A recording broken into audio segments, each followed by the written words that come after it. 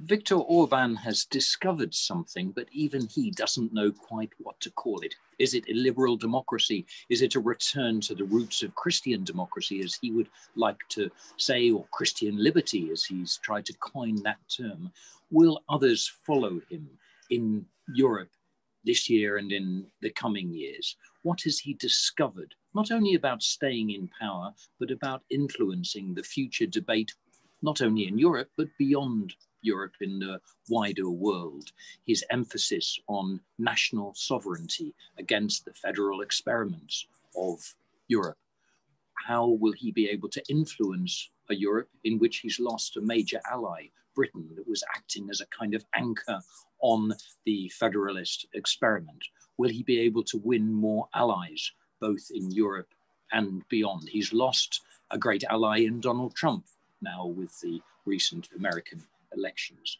Looking ahead to 2022, could he win another term in office, or will the opposition, which has gradually and painfully realized in Hungary that it can only kick him out of power if it collaborates, will that collaboration, will that alliance work in the 2022 elections? And could Viktor Orban, to his surprise and the dismay of all the people around him who've grown rich under his rule be thrown onto the waste dump of Hungarian politics after so long in domination? Might an opposition, if it were to win in 2022, be able to govern in a country which Mr. Orban has changed so much into his own image?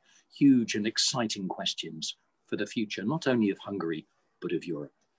Nick, we've had the privilege of traveling with you in Budapest and also traveling down um, the south to the, the border with Serbia. Can you just give us an idea and also the, the flavor of what you can do on a trip with you in Hungary?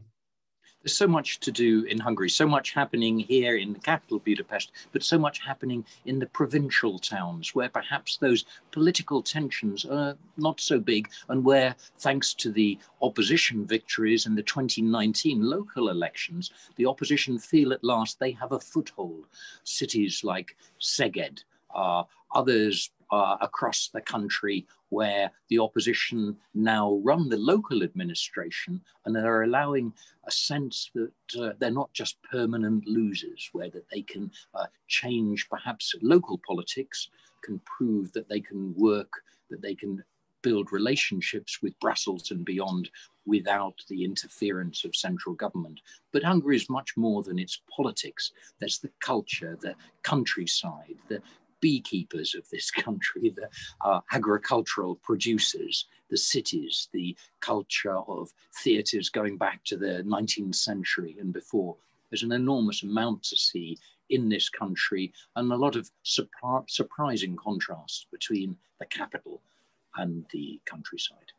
And now, needless to say, you're sitting in the suburbs of leafy suburbs of Buda, and it's the middle of winter, but it's a lot hotter in, in Hungary's summer, isn't it?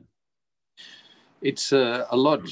I'm pretty warmly dressed here. It's two degrees as I record this message to you. But uh, Hungary is a uh, Mediterranean climate, largely surrounded on three sides by the Carpathian Mountains. This is the Carpathian Basin. The weather tends to stay here in spells of seven or, or 10 days at a time. So when the sun does shine here, which it normally does, the weather does stay warm for a, a long time. So bring your sunglasses.